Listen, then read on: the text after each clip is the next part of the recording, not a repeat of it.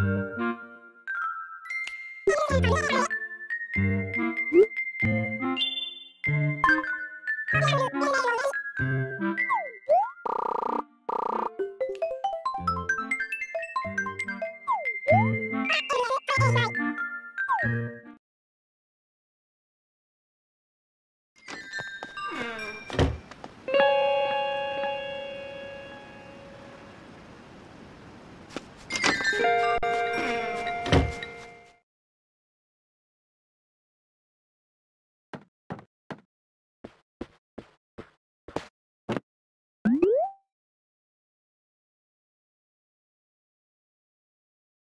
Were frightened, and they converged on City Hall demanding and pleading, and more than 200 were hauled off to the station house.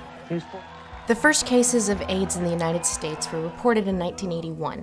By 1983, there were over a thousand reported cases in the US, and by that point, already half had proven fatal. Unlike other high mortality rate viruses like Ebola, HIV tended not to be something one may eventually recover from once infected. Part of the slowed government response was because of the epidemic curve of the HIV virus. Unlike Ebola virus, it was gradual, with symptoms appearing in a matter of years instead of days. It's easier for epidemiologists to encourage behavior changes in a population for an in your face disease like smallpox or Ebola virus, but AIDS, despite its near 100% mortality rate, was so slow moving that not only was mass behavior change difficult to encourage, most people who spread the virus did not themselves even know that they were infected.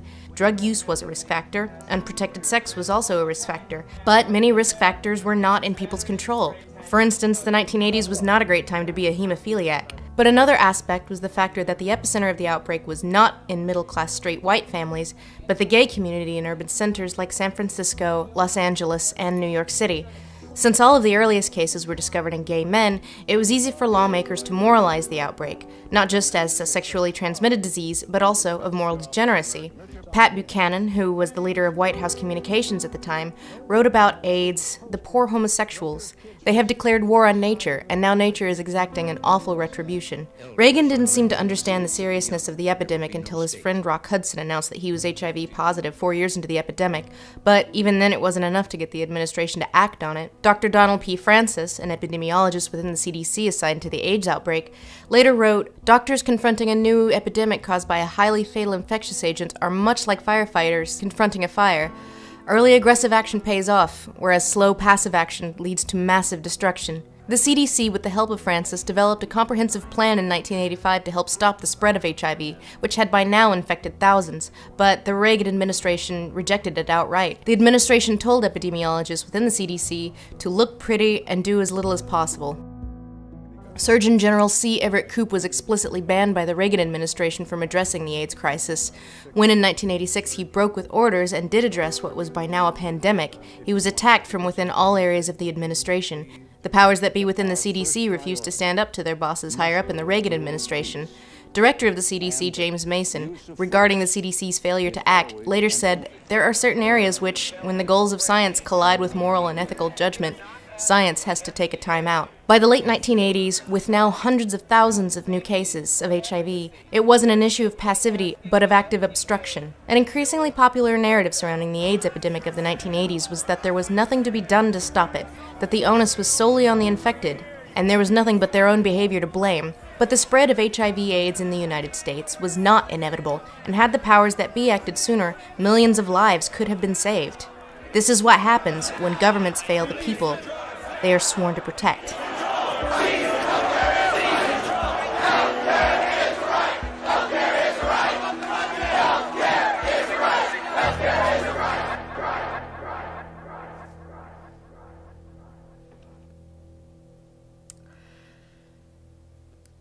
So, yeah, anyway, today we're going to talk about rent.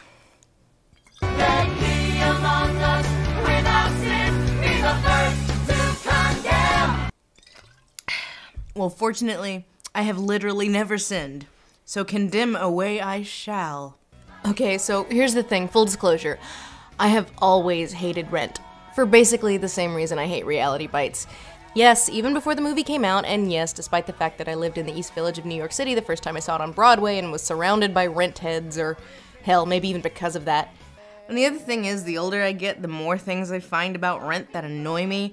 Like when I was a freshman at NYU, I was like surrounded by these rent heads who were like, "It me," and I'm like, "Well, you know, I guess you're you're not completely wrong. You know, trust fund babies."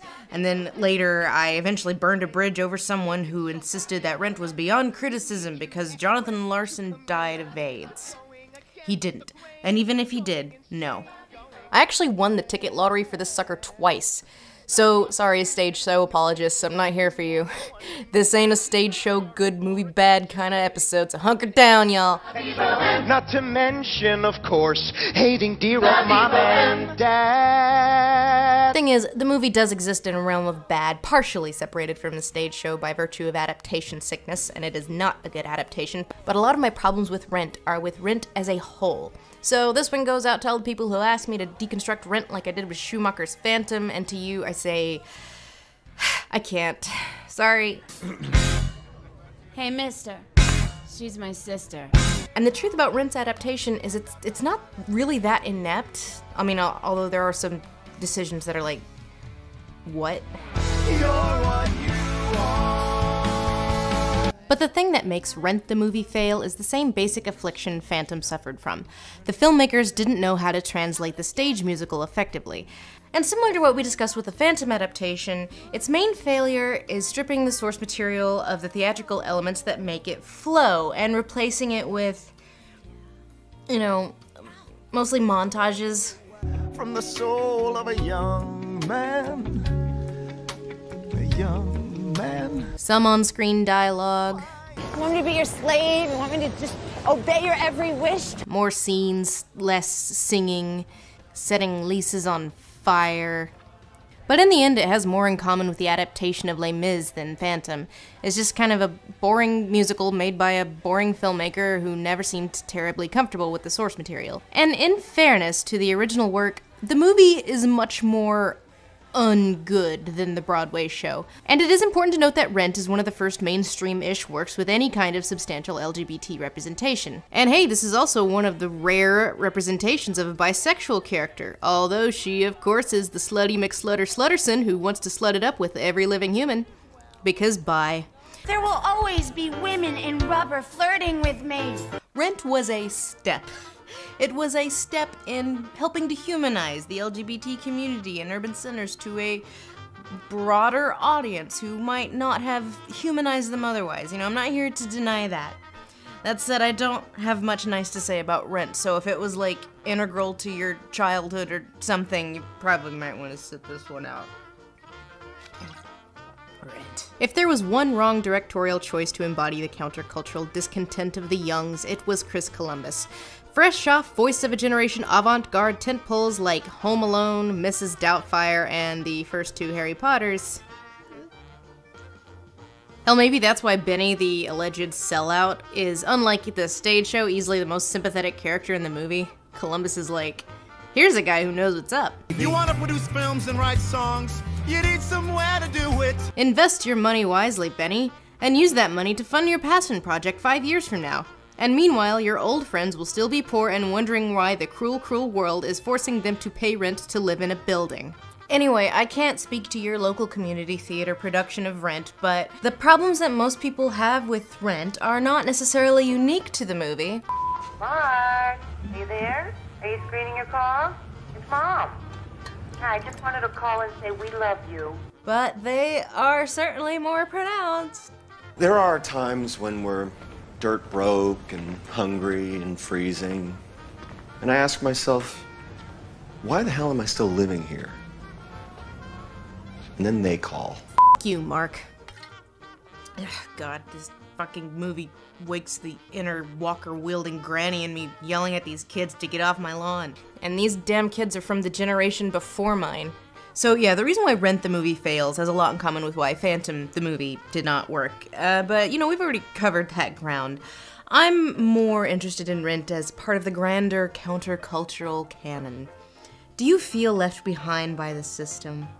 A system that, say, doesn't take your art seriously, or maybe failed to act on an epidemic before it became a pandemic a system that profited off life saving drugs that failed to fund research. There are over 140 drugs out there that the FDA has identified as possibilities. That stigmatized the sick, that looked the other way when hundreds of thousands of people in our own country were dropping dead.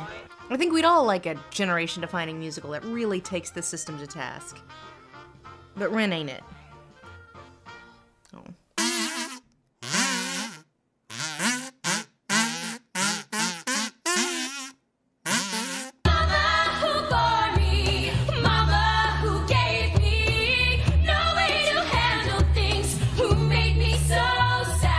Stage musical is a popular format to try and capture the discontent of the something. It is the music of a people who will not be slaves again. We have been left behind by the system, the musical.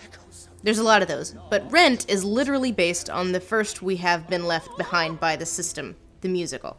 a una zia milionario se fa segno il buon Dio. La Boheme was the original that. Puccini's La Boheme was arguably the start of the mainstream countercultural Fightin' the Man musical. It is the basis of not only Rent, but many modern films and musicals. Most notably Moulin Rouge, which, although based on La Traviata, borrows arguably more from Boheme than Traviata, or the film from which it takes its name, but not its exclamation point. I'd summarize the plot, but it's basically identical to Rent. Swap out tuberculosis with AIDS, the Latin Quarter with Alphabet City, the 1840s with the 1980s, and Americanify the characters' names a bit. I'm Roger. Puccini's Boheme was popular because its characters were relatable and the story was emotionally charged. The real revelation here is that his opera is about an underclass. He isn't writing about kings or dukes, but about starving artists who feel that they've been left behind. It is truly a universal story, translatable to any era. Phantom of the Opera also draws a lot of inspiration from Boheme in that it goes a long way with raw, simple, shallow emotionality. But the difference between Phantom and Rent is Phantom wasn't trying to make a grand statement about society. And the truth is, La Boheme isn't either. Not really. It exists more in the same vein as Moulin Rouge. You're the voice of the children of the revolution! But what is the revolution? I mean, it's not a socialist revolution or a class revolution or.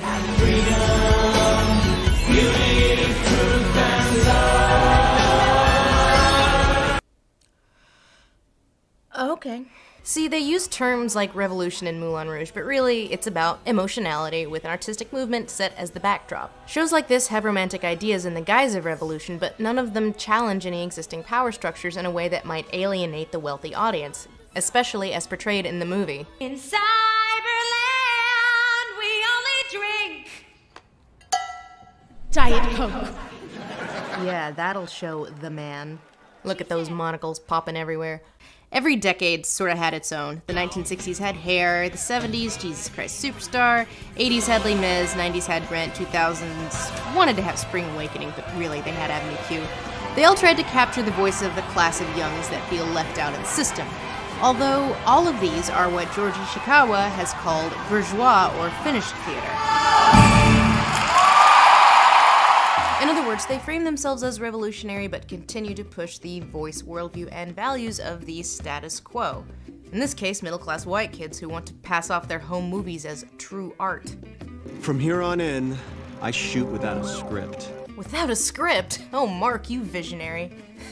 See, this is what I mean when I say that Rent's primary purpose is to validate a certain subsect of the theater going public rather than bring any theater of the oppressed to the masses. This is an idea developed by revolutionary Brazilian dramatist Augusto Boal, who developed the idea of theater of the oppressed. And Boal takes a Marxist reading to pretty much all theater on this subject, so bear that in mind. Echoing Marx, Boal argues that the dominant art is the art of the dominant class, who control the means to disseminate art. In this case, Broadway shows. All of these shows revolve around the social discontent of some underclass, but the shows did not reach the mainstream because some underclass propelled them there. Rent did claw its way up from off Broadway, yes, but only because it found success with the people who had money. Only thing to do is jump over the moon. Hamilton is a perfect example of this phenomenon in action right now. High demand and extremely limited quantities mean that only the wealthy control access to the stage show. A lottery system does exist that sells tickets for $10, but there are 21 of these tickets per show and thousands of entrants. Real access comes in the form of people with thousands of dollars to drop on tickets. And because Broadway shows are so uniquely expensive in terms of consumable art, they have to walk a fine line between being trendy, you know, maybe even a little edgy, but not enough to put the people with money outside of their comfort zones. It presents a multiculti hip hop narrative about the life of Alexander Hamilton and the foundation of the country, but it is ultimately really, really reassuring about the American experiment. Who lives, who dies, who tells your story? Who lives, who dies, who tells your story? The ruling class does. You remember you belong to me. If you want people to hear your message, it first has to get the okay from your wealthy patrons. I mean, it's no coincidence that the first hip hop musical to become a huge hit happens to be about the whitest thing ever. And Hamilton is excellent, don't get me wrong, you know, it's just not here to challenge any ideas on American exceptionalism or start any revolutions. I'm with you, but the situation is fraught. You've got to be carefully taught. If you talk, you're gonna get shot. Does every musical need to necessarily challenge the culture it's trying to sell itself to? God, no. I mean, how else would I see Phantom for the 20th time? But anyway, not every musical, even the ones with explicit revolutionary text, needs to be trying to tear down the system. But what would a revolution look like if it had been included in Rent rather than the subtext being reject the system instead of change it? Well, probably what was going down in Alphabet City in the 80s in the real world. Thousands of demonstrators demand that New York City do more to help those suffering from AIDS. Protest, societal upheaval, all those unpretty things that were very much going on during the AIDS crisis, they were not designed to make the type of person with hundreds of dollars to drop on a Broadway show ticket comfortable. Do you think you've really accomplished a great deal? Yes, I think we do. What else can we do? But Les Mis does not position itself in opposition to the culture it is trying to sell itself to. Neither does Hamilton.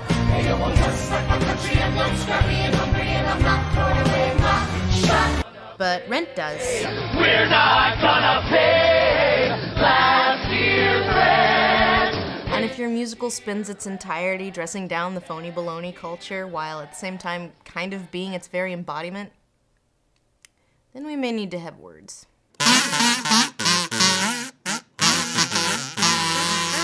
Rent the Broadway musical was met with much more universal acclaim than Bohème a century prior. It wasn't for another couple of years until we started seeing pushback against Rent. The movie was what made society as a whole really start to turn on Rent. So, thank you for that movie. See, Rent's heyday came and went, and a few more years passed, and then another few more years passed, and then uh, they threw another few years on for posterity, and then they made the movie with the original cast. So by the time the movie comes out, it's like, yeah, um, sure, sure you're in your 20s. I should tell you, I have always loved you. And they went hard trying to keep the original cast, you know, which was just weird. Rosario Dawson and Tracie Thoms are the only people who seem happy to be here. Everyone else is in their 30s and, you know, they've moved on with their careers, but here they are pretending to be in their early 20s and it's weird. Many of the songs are cut and turned into dialogue, which makes for an even draggier experience than it might have been. Even with the opening number, when they are asking themselves, how are we gonna pay? How are we gonna pay next year's rent? Rent, rent, rent, rent, rent, rent, rent. The music is arranged similarly to the show's, which is a group number. But in the show, everyone in the neighborhood doesn't all collectively decide to stop paying rent at the same time. It's more like, you know, like a, a Greek choir type thing. Unlike in the movie where it appears to be a riot. And like, okay, so so Benny turns off their heat, right? So they have to burn their precious art creations for warmth. This is also lifted directly from La Boheme. This is how that starts. Burning our art for warmth, and it's like an irony thing. But then they throw it out the window. I mean, the whole thing is full of adaptive changes that don't really stand up to modest scrutiny. Joanne and Maureen's relationship never gets resolved in the movie. Like, they break up and then are together again at the end when they find Mimi. I guess they get back together off screen somewhere. This works better in the show because they break up and get back together constantly, and that's the joke. 525,600 minutes. The movie starts with Seasons of Love, which is an odd decision as the whole point of that song is that it happens after intermission to impart that a year has passed. So at the front of the movie is just like a song that's there but people know it, so let's start with that, I guess. Lots of 2005 vehicles here in 1989. Nobody has 80s hair. Mark's camera has no sound recording apparatus. Why are we taking a train to life support if everything's in Alphabet City, a neighborhood with no train access? Roger returns to Manhattan from Santa Fe via the Williamsburg Bridge, some of the worst CGI cold weather breath in history of moviedom, lazy, uncreative use of your setting, or just strange use of setting.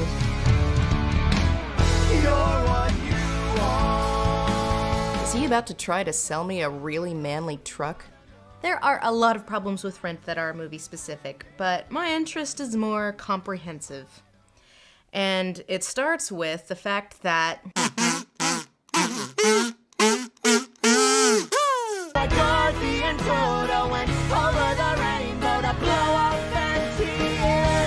Rent is a musical about selfish, horrible people, framed like freedom fighters. They show profound entitlement over other people's rights and property, but it is framed like romantic rebelliousness. A restaurant owner begs them, please don't patronize our restaurant, please. Please, no, no, not tonight. Please leave. They then ignore him when he asks them not to move the tables around. Please don't move the tables. Hey, Rosie, let's put these tables together. Slide down this way. Come on. No, no, no, no, no. Maureen is an emotionally abusive cheater who gaslights all of her partners. Angel comes into wealth at the beginning by killing a dog. But sure as I am here, that dog is now in doggy health. Mimi is a self-destructive codependent enabler. Collins honors the memory of his dead lover by hotwiring a local ATM to dispense cash for him and his friends when you plug his name in. I rewired the ATM at the Food Emporium. Now you need is the code A N G E L. And Mark. Sweet Mark. You might be the worst thing to have ever happened. And you are. Uh, I'm just here to. Um... To appropriate your tragedy for my art without having obtained permission. I hope that's cool. Rent the movie really has two stories that don't mesh when you give it more than a passing thought the story of the tragic AIDS havers, and the love triangle between Joanne, Mark, and Maureen. And these two things have nothing to do with each other besides that they know each other. But really, Mark and Maureen, while they feel bad for the AIDS havers, I guess, their stories are more about their poetry and their art.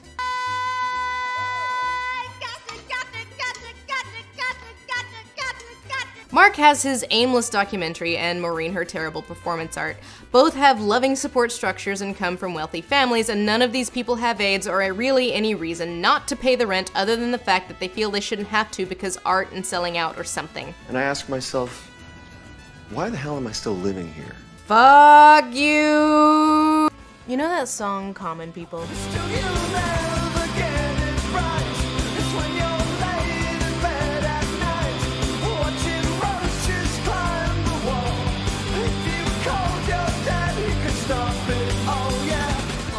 Look, Mark, someone wrote a song about you. In the show, it's more obvious that Maureen is terrible and kind of a narcissist, and this is really a pastiche of bad performance art.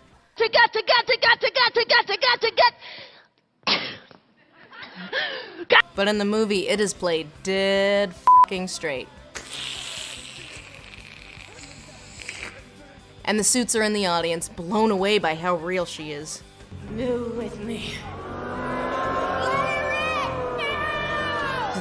They're mooing with her. Now, the fact that they are horrible need not be a problem. I need your help to make my neighbor's yappy dog disappear. Or even that their horribleness goes unexamined by the characters. That is, after all, a condition of human behavior. But the problem, like the faux revolutionary subtext, is with the framing. The show doesn't really go anywhere with this. This type of character is much more effectively explored in Trainspotting. In Trainspotting, you are meant to relate to the characters, sure, but it makes no pretense of them being idealists or good people. It much more successfully dresses down the phoniness of the society that they reject. Choose life, choose a job, choose a career, choose a family, choose a fucking big television, choose washing machines, cars, compact displays, and electrical tin openers. But at the same time, it doesn't dress them up like they are legitimately too good for society. They are very obviously not. So Rent presents us with a worldview that validates the characters rather than challenges them. And romantic validation is part of what made Rent so popular, you know, similar to Boheme before it. But there are ways that this sort of thing can be maybe a little contradictory.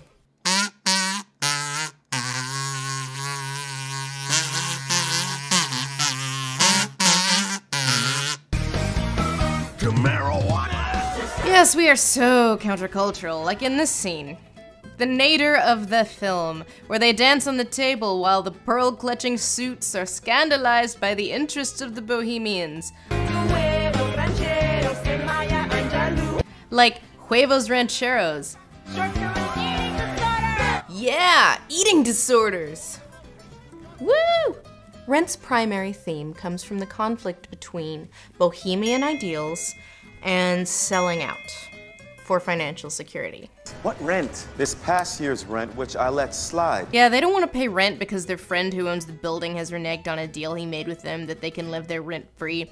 But there is this underlying entitlement that these guys have that they shouldn't have to pay rent. Because they're artists and they don't sell out and get off my lawn. Because working for a show like Buzzline is completely selling out. Mark has among the worst resolution to his subplot, particularly frustrating to those of us working in journalism today. Start at $3,000? He works for a sort of proto TMZ style news organization and makes bank doing it, but he doesn't like having a job in his chosen field of study because selling out. Sold my soul.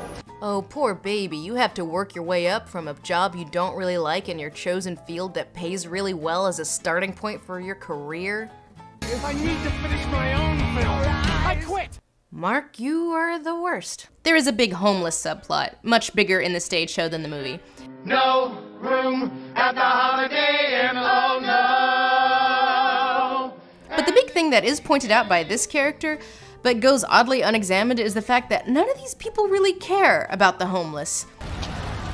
Who do you think you are? I don't need no goddamn help from some bleeding heart cameraman. My life's not for you to make a name for yourself for. Easy, sugar, easy. He was just trying. Just trying to use me to kill his guilt. Mark getting called out on it doesn't prompt any change in behavior. Maureen really doesn't give a shit about their plight. She only cares about her performance space not being taken from her. The tent city is just a backdrop. Problem with the theme of selling out for security versus adhering to your precious ideals while living in poverty, with the backdrop of a massive homeless subplot, which was not there in La Boheme by the by, is that it infers that poverty is a choice, and a noble one at that. Which, sure, Mark has a choice as to whether or not to live in poverty, pretty much all of the characters do, except Angel and Collins, but the homeless do not choose to live on the street in order to uphold their bohemian ideals.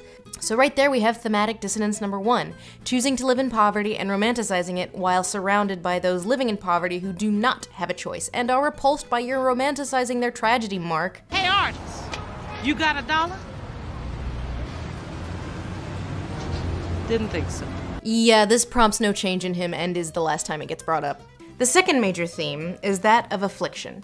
La Boheme is set against the backdrop of tuberculosis, Rent of AIDS, which afflicts far more characters in Rent than TB did in Boheme. So when you have theme 1 over here, and theme 2 over here, this is where we really start kind of running into problems. Mark Cohen's character arc, played up in the movie to the point where, unlike in the show, he is the explicit protagonist, reminds me so much of Lelaina in Reality Bites. They both exploit their parents, neither want to sell out their precious art or play by the rules of fucking society, steal shit, know they'll get away with any rules broken because they're white kids who come from wealthy families, and their approach to documentary is just shoot whatever and call it art because it exists and I made it. From here on in, I shoot without a script. To quote Nathan Rabin, last time I checked, those are called home fing movies and nobody thinks that's high art. So we suffer in the cold and ignore our loving families because suffering equals art, and the homeless are suffering, and we like them because suffering equals art, and as long as they don't expect us to recognize their needs as humans, and hey, maybe they don't think suffering is all that artistic, you assholes. So in Rent, poverty, despite being confronted on how shitty it is to try to appropriate someone else's suffering, Mark, is always justified because art. And capitalist society is always out to consume you, which is why you own nothing, you rent. Therefore, you are always justified in taking anything you can from society. I rewired the ATM at the Food Emporium. It's not stealing because you're an artist and the rules don't apply to you. You know, poverty is not romantic. Just throwing it out there. Anyway, let's tie that back in with the theme of affliction.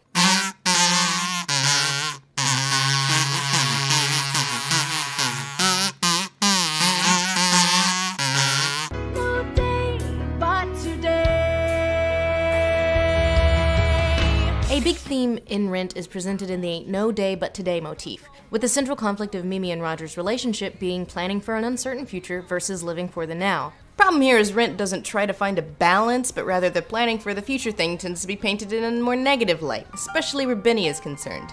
You make fun, yet I'm the one attempting to do some good. Or do you really want a neighborhood where people piss on your stoop every night? The no day but today motif is seen in the life support group. No day but today and in the interactions between Roger and Mimi. A bad idea of a relationship that at least one of them gets some bad juju about, but here we go anyway. Your smile reminded me I It's almost like I have a type and am drawn to self destructive addicts. See, Roger's ex girlfriend committed suicide after finding out that both she and Roger have AIDS. The suicide part's not clear in the movie, by the by. His girlfriend April left a note saying, We've got AIDS before slitting her wrists in the bathroom. So the first time we see the no day but today motif is used at Angel's life support meeting. In the very next scene, we see it again when Mimi is trying to get Roger to do drugs with her.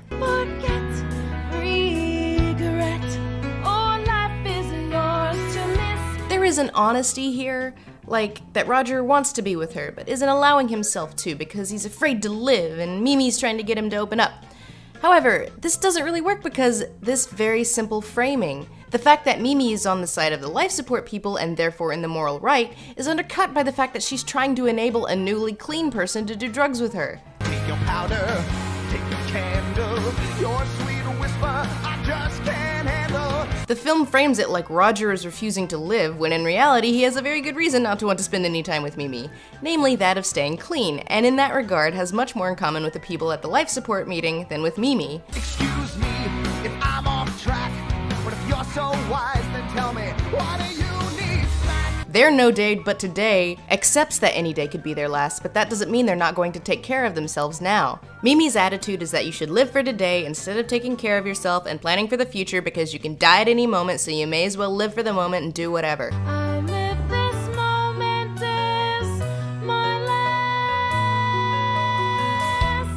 The show does this too, perhaps more pointedly because rather than Roger's buds plus Mimi being the chorus, a choice which makes no logical sense by the way, since Mimi doesn't really know any of these people except Angel, but whatever. In the stage show, the chorus is the entire life support group. No day but today. Take your powder, take your candle. So the show does the same thing, only, you know, more.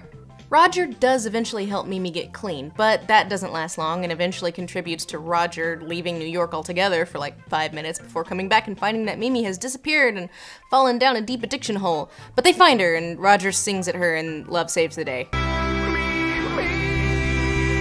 It should be noted that Mimi nearly dying is not brought on by chance like with Angel, but by her own decision to give up on life. She goes back to doing drugs, stops paying her rent, lives on the street, stops taking her AIDS medication, and nearly dies of exposure. And still, and still, she survives. She said, Turn around, girlfriend, and listen to that boy's song. And I'm not gonna be a total cold hearted monster and say that there is no value in that. You know, only mostly.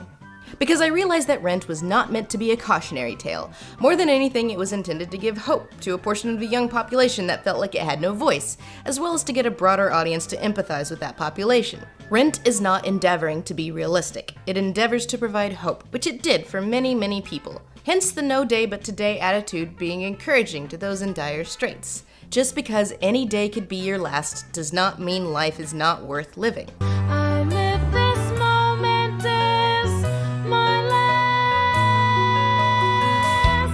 However, However, Roger is doing the actual hard work of self-care, on which Mimi is an unquestionable drain, which goes completely ignored once we've decided that love is the most important thing. Love at all costs, love will save the day. And again, I'm not saying that all relationships portrayed in things need to be healthy, but it's kinda like Twilight. The work doesn't exactly frame it like it's a no good, very bad idea. I like watching you sleep. Do you do that a lot? Well, just the past couple of months.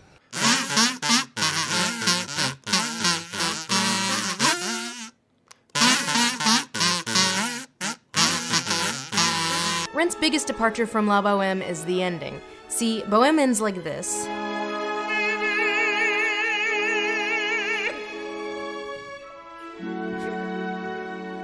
And Rent ends like this.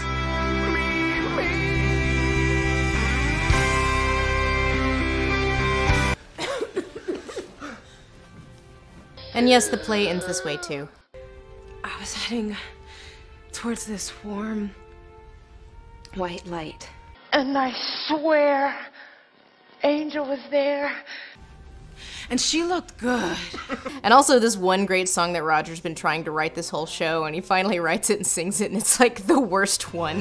How'd I let you slip away when I'm longing so? But it it saves her from the AIDS. Anyway, she's fine. Her fever's breaking. And I have wrestled over this. Rent changes fundamentally so little from La Boheme, such to the point that it hardly feels relevant to the late 1980s. So why change this? Why does Mimi die in La Boheme, but miraculously gets an AIDS reprieve because Roger sings a song at her? I have always loved you. Okay, in La Boheme, Mimi is a symbol of innocence and purity, and she just can't survive in this tough new bohemian world. That's the price of bohemia, I guess.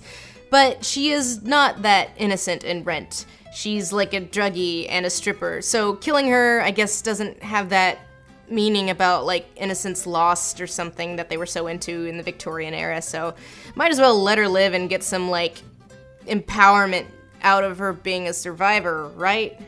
Angel was there. And she looked good. but I don't think that is really the end of it. I think in Rent, it's Angel who is the Mimi because Angel gets the angelic Mimi death. Angel gets to be the embodiment of goodness, where in Rent, Mimi is not that at all. She is flawed, and therefore Angel dies instead of Mimi, which is noteworthy because Angel's counterpart, Schaunard, does not die in La Boheme. In the show, it does depend on the actor, but there is a more fleshed out character. For instance, she's a compulsive placater who really does not like conflict. People! This is a new way to start a new year. Oh, have compassion. And there's a much bigger sense of active agency. But Chris Columbus's interpretation does not exist in a character in her own right, just to be inspiration for everyone else and act as like a spirit guide after she dies. Angel was there. Chris Columbus's embodiment of goodness and humanity is more of a prop than one of the main characters. You know, it's like in Pocahontas where they were so obsessed with being respectful that she has literally no character flaws or character period. And I think part of that is that Chris Columbus never seems entirely comfortable with this character just from a cinematography standpoint. Take the curious decision to shoot I'll Cover You as boringly as they did. Eh, let's just walk down the street. It's good enough. I mean, look at this. It looks like it was shot by an undercover PI from across the street. This is handled better in the show, which since it's more of an ensemble, Angel is more of a character on equal footing with everyone else. And, uh, yeah, she does make money killing a dog, and we are supposed to be charmed by this. But sure as I am here, that dog is now in doggy hell. Well, this is actually an element from La Boheme where instead of a dog, it's a parrot, so let's ignore that. So rather than Mimi, who in Boheme is the embodiment of goodness and innocence, in Rent, she is the waif who needs to be saved from herself. With love. And Angel, well, Angel becomes the tragic figure of goodness and love dying because the world is too cruel and corrupt for her. So Angel's story is resolved with her becoming an angel. And at the end of the day, both in the stage show and in the movie, Angel is the character with the least of an arc. And she just kind of goes quietly into that good night, nobly, not mad about it or anything. No one is mad at the system that has failed them. And here's the thing about the theme of affliction. In the 1840s, no system was going to save you from tuberculosis. So, while it was a problem that they romanticized it the way they did back then, same rules didn't apply. So these two themes didn't really conflict as they do in a story about the AIDS crisis in the late 1980s.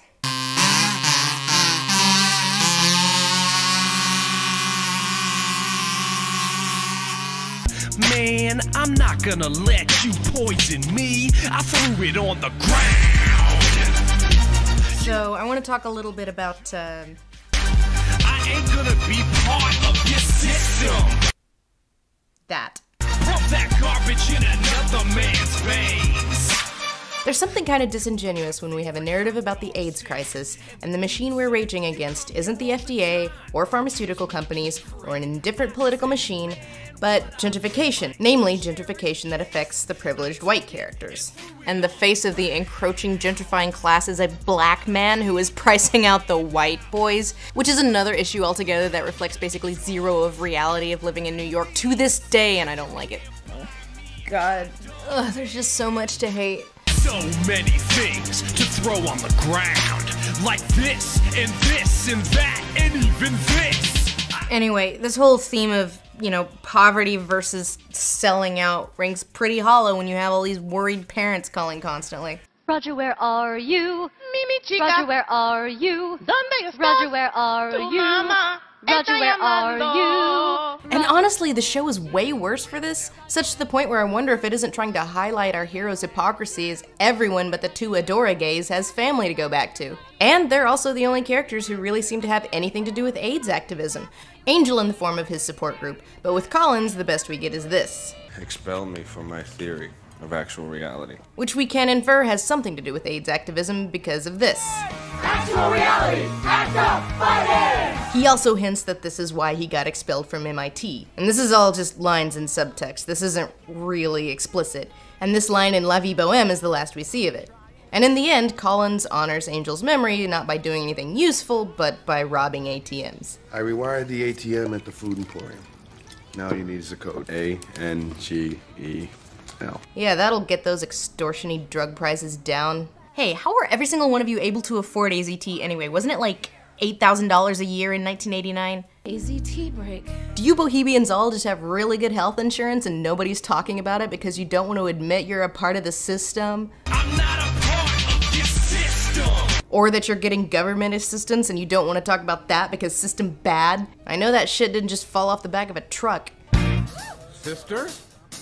We're close. Rent's idea of a revolution is a purely symbolic one, and that's kind of the point. It's built to reinforce worldviews, not change anything. Because the reality of the AIDS epidemic was not romantic tragedy a la Mimi's inevitable fate in La Boheme. It was not manic pixie dream gays going quietly into that good night, but it was fighting and scratching and clawing and quilting and demanding that their humanity be recognized and not devalued on basis of sexual orientation, which it very much was in 1989. The reality of the AIDS epidemic does not work as a fuck the system musical because rejecting the system was not what eventually changed it. What changed it was holding the system to account. You have the FDA giving you a drug. So far, you've got AZT. Why Which would, I can't take because it's too far too toxic. But the FDA says there is nothing else that that is worth worth anything. That does not mean that there is no place for Rent, or that you're a bad person for liking it, or that the music isn't catchy. But if you care about the subjects that it champions, Rent is hardly representative. And that's the real problem with Rent. It and its narrative has overshadowed and sanitized a painful, terrible, uncomfortable history that we still live in the shadow of. Go read Stage Struck by Sarah Schulman. It's on Amazon. Or go watch How to Survive a Plague. It's on Netflix. Or Angels in America. It's on HBO Go. Or even fing Dallas Buyers Club. And yes, has its own problems, but actually acknowledges the criminal shortcomings of every power structure in place during the height of the AIDS crisis. A light, user-friendly sort of anarchy does not work in a narrative about the AIDS crisis, because there is nothing noble in extolling the virtues of quietly giving into your disease when there is a system right there that can help and is actively, even aggressively failing you, but you reject it because fuck the man. I'm not a part of your system. And threw it on the ground. I don't need your protease inhibitors. And that is what Rent, the movie, ends up being. Sympathetic to an underclass that was violently screwed by the system, but ultimately the embodiment of the voice of the ruling class. That is why a story about homelessness and the AIDS crisis ends up being about not selling out. It advocates for no revolution other than the revolution of whatever makes you, as an individual, feel good. It reinforces a worldview in which the only way to rebel against the system is to reject it. And it might feel good to throw it on the ground, and throw the rest of the cake too. Welcome to the real world, jackass. It gives you a sense of power in a world that makes you feel powerless. But in reality, the only thing it fosters is actual powerlessness. Because in rejecting the system, you are not only failing to tear it down, you are also forfeiting any voice within it. Rent takes an inherently political issue and depoliticizes it to create something comforting and consumable. Rent looks pretty and does as little as possible. Starving for attention, hating convention, hating pretension. Not to mention, of course, hating dear old mom and dad. Plague! We are in the middle of a fucking plague! And you behave like this! Dorothy and Toto went over the rainbow to blow up Auntie Em. Plague! 40 million infected people is a fucking plague! Bisexuals, trisexuals, homo sapiens, carcinogens, hallucinogens. All we can do is field a couple of hundred people at a demonstration? That's not going to make anybody pay attention. Not until we get millions out there. The people living with, living with, living with, not dying from disease. Let me among us, without sin, be the first to condemn. And I say to you in year 10 the same thing I said to you in 1981 when there were 41 cases.